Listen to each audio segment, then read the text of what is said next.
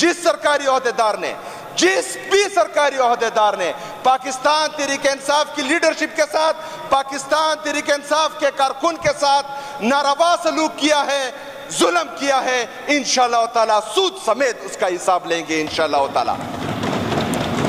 जनाब स्पीकर, मैं ये पैगाम इन ताला मेरी तमाम इंसाफ लॉयर फार्म के वकीलों से बात हो चुकी है। कल मैं जा रहा हूँ इस साइको वज़ीर अला के खिलाफ, जाली वज़ीर अला के खिलाफ इनशाला एफ़ आई आर दर्ज करने, अगर पुलिस ने किसी भी वजह से या दबाव से इनकार किया तो इन ताला अदालत की थ्रू आऊँगा और इस पर हम इन ताला एफ़ आई आर करेंगे। हमारे लीडर, हमारे कायद जनाब इमरान खान साहब और उसकी पार्टी के हवाले से कुछ गलत बातें, मौत की धमकियाँ और इस तरह के कुछ अल्फाज उसके मुँह से निकले कि हमें लगा वो साइको हो चुकी है। उसके दिमाग ने काम करना छोड़ दिया है। क्योंकि ना ही उससे बाप का घर संभाला गया, ना शोहर का घर, सियासत में भी उसको नाकामी बार बार नाकामी हो रही है। वो इनकॉम्पिटेंट हैं और उससे जो है, पंजाब का इतना बड़ा सूबा संभाला नहीं जा रहा तो वो अपने होश गवा बैठी है, इसलिए उसके मुँह से गलत अल्फाज निकल रहे हैं स्पीकर साहब इमरान खान हमारा लीडर हमारा कायद इस मुल्क का सबका वज़ीर आज़म करोड़ों पाकिस्तानियों की दिल की धड़कन उम्मत मुस्लिमा का लीडर इस वक्त दरिंदों के कैद में है इस वक्त जिनके पास ना दिमाग है जिनके होश खराब हो चुके हैं, उनकी कैद में हैं, और हमें ये डर है कि ये अपनी नाकामी में, ये अपनी नाकाम पॉलिसियों में, ये लंदन प्लेन का जो नाकाम तजुर्बा कर चुके हैं, उसको कवर देने में अल्लाह ना करे, अल्लाह ना करे कोई गलत कदम उठाएँ। इस हवाले से मैं इसलिए आज असम्बली के फ्लोर पर यह बात लाना चाह रहा हूँ कि इमरान खान को जाली एफ़ आई आर में सियासी कैदी बनाया गया है।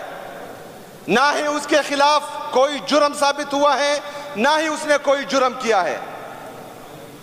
अगर तोशाखाना केस में एक गड़ी में उसको सजा मिल रही है तो इन बेगैरतों को मैं कहना चाह रहा हूँ कि उसका एक लोटा एक लोटा आप एक अरब से ज़्यादा में वो खरीद रहे हैं तो सोचे कि मेरे लीडर की कीमत क्या होगी?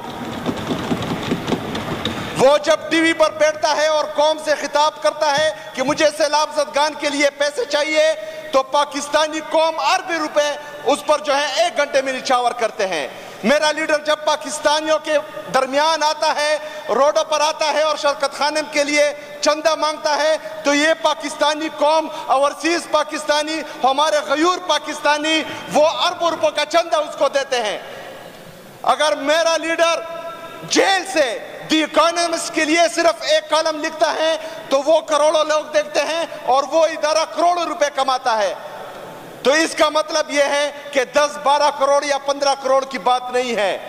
बात यूनाइटेड नेशन के असेंबली के फ्लोर पर नामुस रिसालत की बात करना है। अमेरिका को एब्सोल्युटली नॉट कहने का है। इसराइल की आँखों में आँखें डालकर यह कहना है कि मैं तुम्हें तस्लीम नहीं करूँगा। अमेरिका को, अमरीका को पाकिस्तान में पख्तून के खिलाफ अड्डे न देने का यह नतीजा है कि वो आज सियासी कैदी हैं और वो कैदोबंद के कैदोबंद में हैं।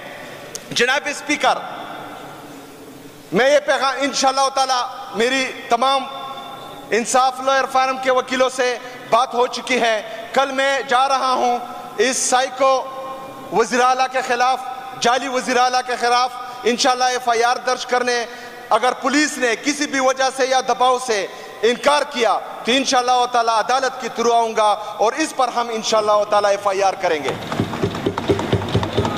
मैं मैं तमाम पाकिस्तानियों को ये पैगाम दे रहा हूँ कि हम यहाँ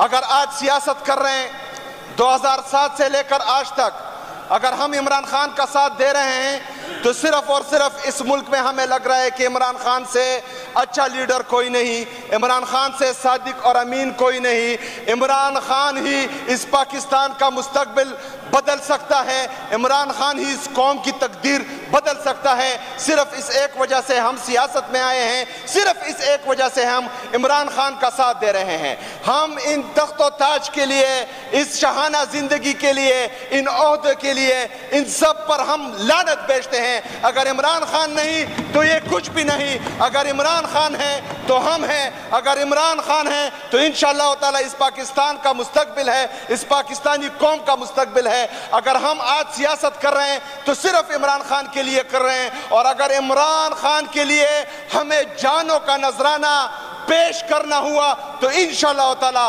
पहला सर मेरा कटेगा और बाकी जो हमारी यहाँ असम्बली मेंबरान हैं, ये सब इन ताला मेरे साथ मुतफिक होंगे और हम हम सब इन ताला अपनी नज़र, जानों का नजराना पेश करेंगे। जनाब स्पीकर इमरान खान खुद अपनी ज़ुबान से बार बार ये तीसरी दफ़ा जब उस पर पाबंदियाँ लगी तो ये तीसरी दफ़ा है कि जो भी बाहर आ रहा है तो वो कह रहा है कि मुझ पर जेल में सख्तियाँ की जा रही है। इमरान खान की बहन बाहर आई तो उसने भी कहा कि इमरान खान कह रहा है कि यहाँ मेरे साथ नारवा सलूक हो रहा है। सलमान अकरम राजा साहब मिले, वो भी कह रहे हैं। इमरान खान सियासी कैदी है। ये जो ढाई साल पर हम हम पर कर रहे हैं और ये सब खामोश, तमाशाई बैठे हुए हैं और कोई आवाज़ नहीं उठा रहा तो इन ताला यहाँ इस इस फ्लोर पर, फ्लोर ऑफ़ द हाउस, मैं इनको लिख के देता हूँ कि इन ताला आने वाली हुकूमत फिर इमरान खान की होगी और फिर मैं देखूँगा कि ये इन ताला किस तरह चीखते हैं और कौन हमें जो है फिर इंसानियत का ह्यूमन राइट्स का दर्ज देता है। क्योंकि हमारे हमारे साथ जुल्म पर, हमारे साथ जबर पर, ये सारी सियासी पार्टियाँ चुप रही। सारे जो ह्यूमन राइट्स के इदारे हैं, वो चुप रहे। सारा मीडिया चुप रहा, नहीं बोला। आज इनका नंबर है इन ताला, कल फिर इमरान खान की क्यादत में इमरान खान वज़ीर आज़म होंगे और पाकिस्तान तरीके इंसाफ की हुकूमत होगी, जिस सरकारी अहदेदार ने जिस भी सरकारी अहदेदार ने पाकिस्तान तरीके इंसाफ की लीडरशिप के साथ, पाकिस्तान तरीके इंसाफ के कारकुन के साथ नारवा सलूक किया है, जुल्म किया है इन ताला सूद समेत उसका हिसाब लेंगे इन ताला। बहुत शुक्रिया, बहुत मेहरबानी। बंद कमरों के फैसलों का नतीजा है कि आज तक एक गलत फैसले की वजह से हम ख्वार जार हो रहे हैं, तबाह बर्बाद हो रहे हैं और ऐसा दिन हम पर नहीं गुजरा जिस दिन हमने जनाजा ना उठाया हो। इसके लिए पाकिस्तान तरीके इंसाफ ने हर मुमकिन कोशिश की है, चाहे वो ड्रोन रोकने के लिए वजीरिस्तान मार्च हो या इधर रिंग रोड पर नेटो सप्लाई को रोकना हो या रिजीम चेंज ऑपरेशन के बाद हमारे भाई मुराद सईद साहब की तरफ़ से बार बार इन हालात का इशारा हो कि हालात खराब होने जा रहे हैं और ये बंद कमरों में फैसला हुआ है। जनाब स्पीकर, परसों जो जहाज़ से मटर गोले गिरे हैं और तकरीबन 12-13 बच्चे, जिनकी उम्र 16 साल से कम है, मैं जब अस्पताल गया और उनको देखा तो यकीन माने कि मेरा दिल खून के आँसू रो रहा था। ये हमारा पहली दफ़ा नहीं है कि हम मासूम बच्चों को देख रहे हैं। जब खैबर में, खासकर वादी तिरा में ऑपरेशन होने जा रहे थे तो वहाँ के लोगों को एक दिन का वक्त भी नहीं दिया गया था। सिर्फ़ फैसला बंद कमरों में हुआ और सुबह कहा गया कि यहाँ से निकलो। तो लोगों ने अपना घर बार कारोबार वो सब कुछ वहाँ छोड़ दिया और इस मुल्क के लिए, इस कौम की खातिर कुर्बान होने के लिए वहाँ से निकले। कुर्बानियाँ दी इस मुल्क की खातिर, इस कौम की खातिर। लेकिन उनको जो है, वो हकूक आज तक नहीं दिए जा रहे जिनके वो हकदार हैं। इसी तरह हमारे मर्ज अजला के तमाम अजला, खैबर पख्तूनख्वा के तमाम अजला, पख्तून इन्होंने हमेशा पाकिस्तान की खातिर पाकिस्तान की